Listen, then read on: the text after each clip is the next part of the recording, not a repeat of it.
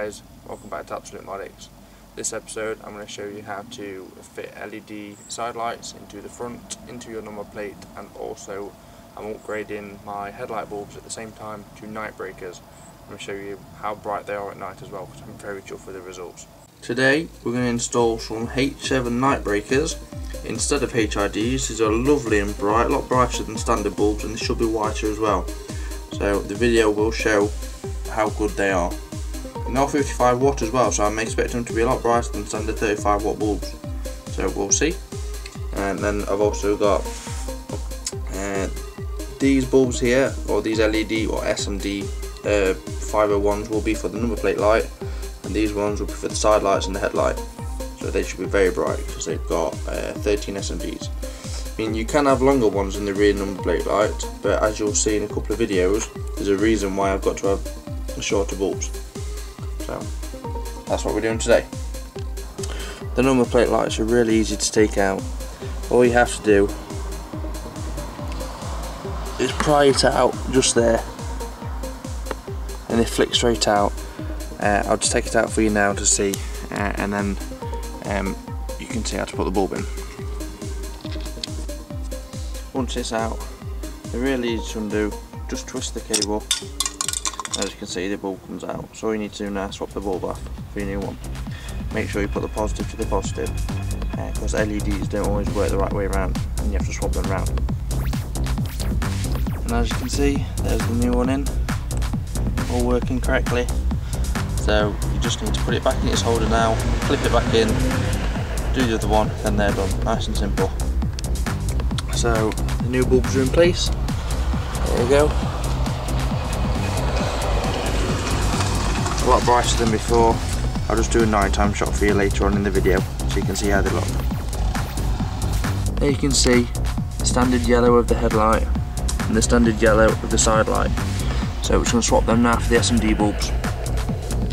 I'm doing this on a headlight that's out the car just to make it easy for you and um, so you can see quite clearly what you've got to do obviously there's a little cage that goes that sits on top of this bulb you just undo the cage take it off take out your old bulb get your nice new new one like, like we've got there. We've got the uh, night breakers. Put that in there so it lines up correctly. Fit the cage back on top nice and simple. Then all you have to do once the cage is on top is just connect this plug onto the top of the bulb and that's it it's done. What you have to do is then put your rubber, rubber cover back on. Now for the side lights, um, we've got a little baby 501 bulb sat in there. So what we're going to do is we're going to mount our new Mega SMD bulbs into this holder, into there, then we're just going to push it straight into the hole. Uh, and then obviously they're already wired straight in because obviously that's the holder built into the end of the cables so once that's pushed in, that that's it. It'll be in place and they'll, they'll work. Oh, dropped it, and they'll work. So now let's see how they look on the car. Here you can see we've got the new side lights fitted, the SMD bulbs. As you can tell, they are very bright for side lights, and they look awesome. What a fantastic colour.